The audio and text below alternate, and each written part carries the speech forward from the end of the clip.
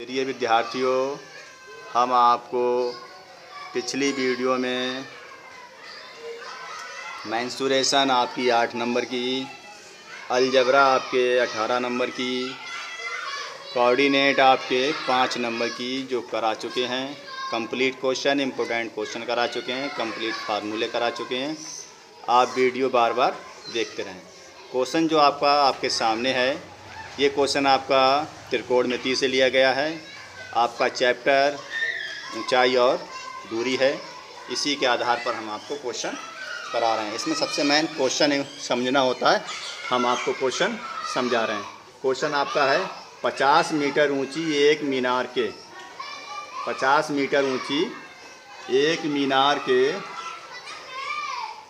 एक मीनार के शिखर से, शिखर माने लास्ट वाला हिस्सा होता है। शिखर से पृथ्वी पर एक बिंदु का अवनमन कोण? पृथ्वी पर पृथ्वी पर पृथ्वी पर अवनमन कोण? ये वाला आपका अवनमन कोण होता है, जो ऊपर से नीचे के लिए। ये आपका क्या कहलाएगा? अवनमन कोण। ज़रा ध्यान दें, ऊपर से नीचे की ओर आपका क्या कहलाएगा? अवनमन कोण। तो इसमें आपको क्या दे रखा है? कि एक बिंदु का अवनमन कोण 30 डिग्री है, मीनार की मीनार की जे वाला जो पाद है, नीचे वाला हिस्सा, इससे यहाँ तक की दूरी कह रहे हैं कि ज्ञात करो। यहाँ से लेके यहाँ तक की दूरी, ये वाला कोण आपको दे रखा है तीस, ये आप नहीं लिखेंगे तब भी चल जाएगा, लेकिन ये एक दूसरे का अपोजिट होते हैं जो हम आपको जोमेट्री में जोमेट्री में कराएँगे, उसमें ये वाला कोण और ये वाला कोण आपस में बराबर होते हैं। तो अगर आपका ये तीस है तो ये भी तीस हो जाएगा। कल क्वेश्चन में आपके ये वाला कोण अवनमन कोण ये होता है ये दे रखा है। देखिए ज़रा आप क्वेश्चन में। क्वेश्चन हम आपको कंप्लीट करा चुके हैं। अब आप ज़रा देखिए आंसर मतलब कंप्लीट समझा चुके हैं। ये समझना है यहाँ पर। हम आपको क्वेश्चन समझा चुके हैं। आगे आप देखिए, त्रिभुज ए बी सी में, त्रिभुज ए बी सी में। आगे आप देखिए टेन थीटा क्यों लिया? क्योंकि हमारे पास ये दे रखी है और ये दे रखा है। मतलब लंब दे रखा है और आधार दे रखा है तो ये हमारा टेन में होता है।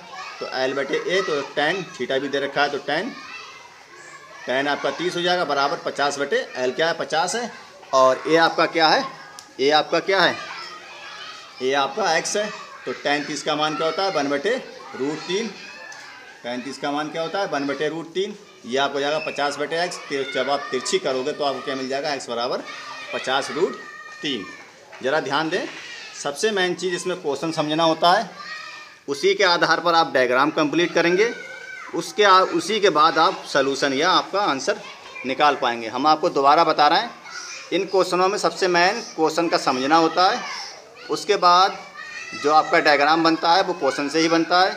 डायग्राम के बाद जो भी आपका सलूशन है या आपका आंसर है वो आपका चित्र से कंप्लीट होता है। आप बार बार वीडियो देखते रहें समझते रहें समझ में आपके आ जाएगी। अगर आपको वीडियो सही बा सटीक लगती है तो सब्सक्राइब करना ना भूलें।